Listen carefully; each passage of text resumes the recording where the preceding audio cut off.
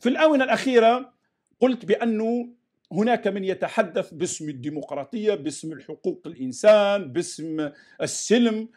فهل يا ترى حقيقة هؤلاء دعاة سلم؟ أم أنهم دعاة عنف بطريقة مقننة أو أنهم دعاة عنف بطريقة مباشرة؟ هناك ثلاث احتمالات.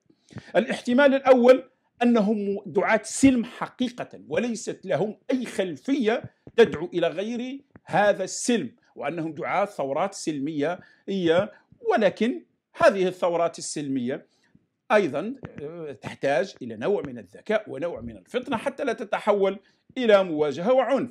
الأمر الثاني أنهم يدعون السلم ولكن ما يقومون به هو عمل من أجل العنف هو الدفع نحو العنف أو أنهم من دعاة عنف.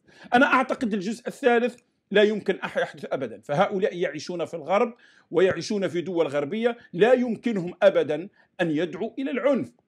وقد كانوا من قبل في التسعينات من دعاة العنف ولكن دعوتهم فشلت والجماعات المسلحة الإرهابية المسلحة التي راهنوا عليها في الجزائر كي تنجح فشلت.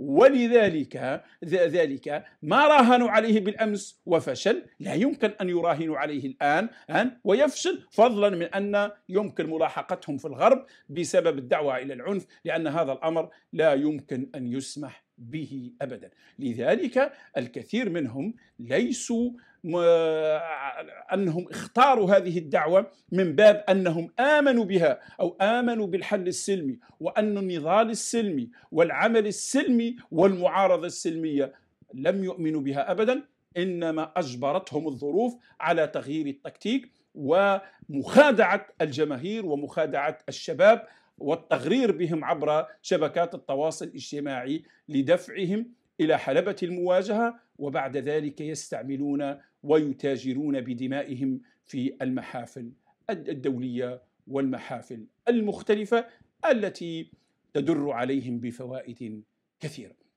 لذلك لا يعني أن كلامي هذا أنه لا يجب العمل من أجل التغيير لا يجب العمل من أجل التغيير ويجب بذل الجهد من أجل إحداث التغيير الحقيقي ولكن من الحسن إلى الأحسن القضاء على كل السلبيات الموجودة ولكن في إطار سلمي في إطار تعاوني في إطار لا يدعو إلى المواجهة في إطار تكامل الأدوار بين كل الأطراف الفاعلة. ولكن الدعوة إلى التصعيد والدعوة الدعوة إلى العصيان والدعوة كل هذه تدل على أن النوايا خبيثة هي استعمال الشعارات السلمية ومحاولة جر الجيش وجر الأجهزة الأمنية لمواجهة الناس وعندما تحدث المواجهة يتم دعوة الناس إلى الدفاع عن النفس وكلهم كانوا يتحدثون من قبل أنه الدفاع عن النفس حق وما إلى ذلك.